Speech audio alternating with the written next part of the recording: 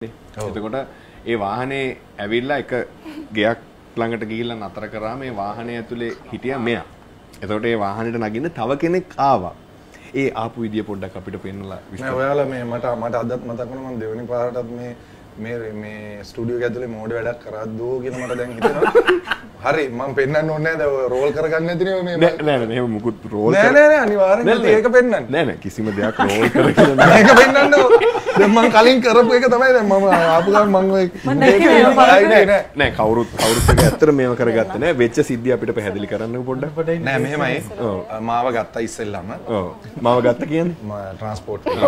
ගෑන් එකේ මාව තලවතකට අපි කලංගන ඉන්නේ මාව අරගෙන මේ රුවන්වැලි ගිහ ළඟට ගිහලා නැවැත්තුවා. ෂෙන් නවත්තලා.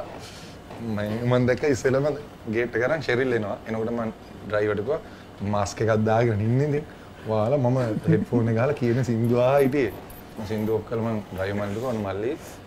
ෂෙරිල් එන්නේ මම අඳුරගන්නේ නැහැ මම ලොකු සීන් එකේ ඉන්නවා කියලා. මම දැන් මෙහෙම එන මෙයා දොර එනකොට මම මෙහෙම බැලුවා. මෙහෙම ආවා.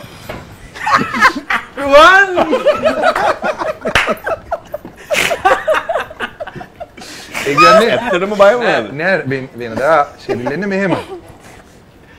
අද ආවේ මෙහෙම මං කිව්වේ දැන් ඒ කියන්නේ මේ මෙන්න මෙන්න මේ